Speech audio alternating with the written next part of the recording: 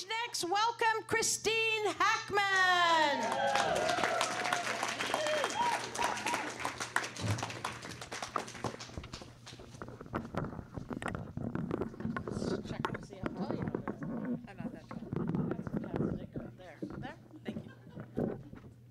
Thank you. Yes, I am Christine. I come to you from the time of the Jennifers and the Tracys and the Michelles, long after the time of the Gertrudes and the Mildreds, but before the time of the Zoes with the umlaut. It is Lent. I am observing Lent. So for 40 days, I have given up something I enjoy. I am not drinking my calories right now. But don't worry, I am still eating my feelings. I recently put on some weight, and I, I blame it on a new medication that I've been taking um, Flintstones vitamins. Um, but uh, I, I like to watch romantic tragedies before I weigh myself because I find it's a really effective way of losing a lot of that excess water weight from my eyeballs. Yeah.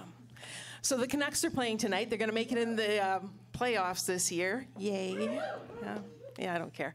But I, it, it does mean I do have to make some decisions. So, do I buy runners now for optimum looting efficiency later?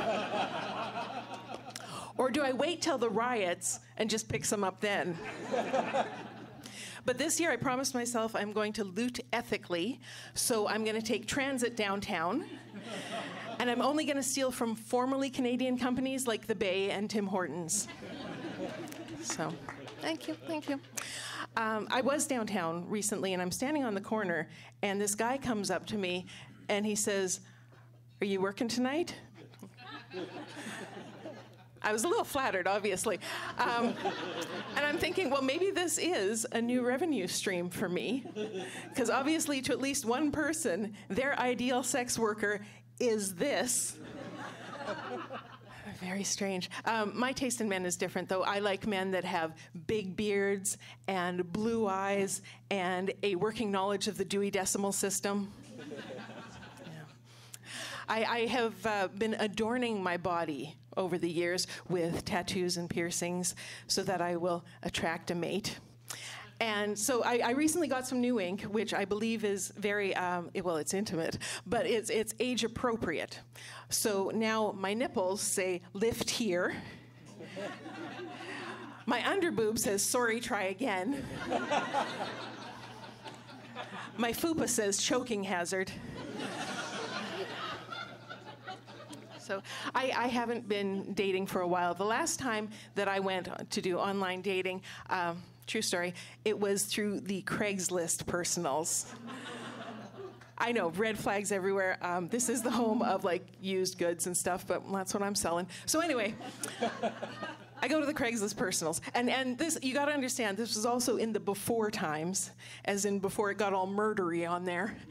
So so the guy shows up at the coffee shop and he launches into this sob story about, oh, I lost my home and my business and my wife, and I'm living in a boarding house and I'm sleeping on a couch, but I really want to find true love. But all women are gold diggers. Sir, you are so broke ass. You came here by a bus because you told me you couldn't afford to date outside of your transit zone. You could not afford to treat me to a drip coffee here at the Tim Hortons. There will be no gold digging here, sir. Your mine is tapped out. And then, and then the fucker has the audacity to suggest that we should sleep together that day to find out if we have sexual chemistry for the next date. Oh my God. Sir, I am not try before you buy. I am not giving out free samples. I'm a grown ass woman, not a Costco. Also, how the fuck is this supposed to work? You're sleeping on a couch, you can't host. And you've only got 17 minutes left on your bus transfer, so.